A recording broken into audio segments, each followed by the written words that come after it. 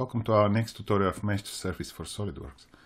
When you make a lot of complex shapes like this one on the screen, you end up having a lot of the main mesh, which is your reference, and then you may create a lot of cross sections here. The problem now is that if you send this file to your other customer or you want to open it on a PC where Mesh to Surface is not installed, these entities will not be understood by this other installation, so you don't really need them anymore.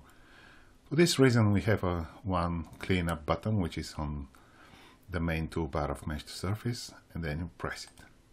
What it will do, it will ask you if you are sure to do this action, that it will clear everything that is available in this project. If you press yes, all the primitives that have been created by Mesh Surface, including the imported mesh, will be deleted. In this way you end up just with a normal SolidWorks file that you can save it on the disk. I recommend highly to save as, so you keep your original work.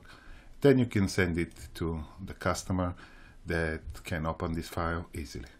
I hope this video is useful. Thank you for watching.